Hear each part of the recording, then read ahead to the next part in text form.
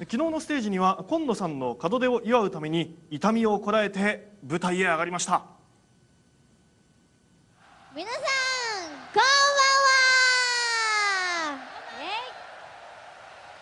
はいえーとノンはですね昨日のコンサートでちょっと足を怪我してしまって本当に皆さんには大変な心配をおかけして本当にすいませんでした。あのね足以外はすっごいピンピンしてるんですよ。なるほど。だからみんなでテンション上上な感じで最後まで楽しんでいてください。以上ついのぞみでした。は